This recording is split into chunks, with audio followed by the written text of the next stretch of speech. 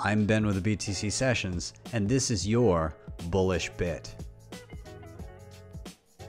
Okay. So at the end of the day, Western Union is a short. Okay. It's a core short in a hedge fund portfolio. I would be out there advocating that they are in trouble. Creative destruction is the basis of capitalism. And guess what, Western Union? You're going to be creatively destructed.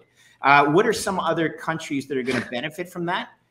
Tonga. Okay. Tonga has the yes. highest percentage of GDP in remittances.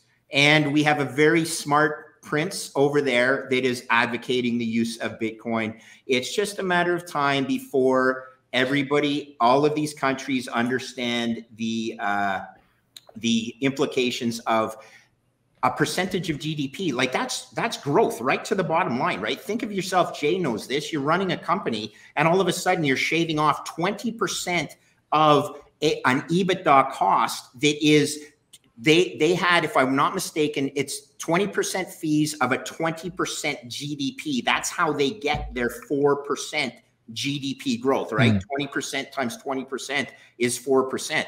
Hey, that I, I have a couple of bars in Montreal I promise you, I hate paying MasterCard and Visa merchant fees, 1.5%.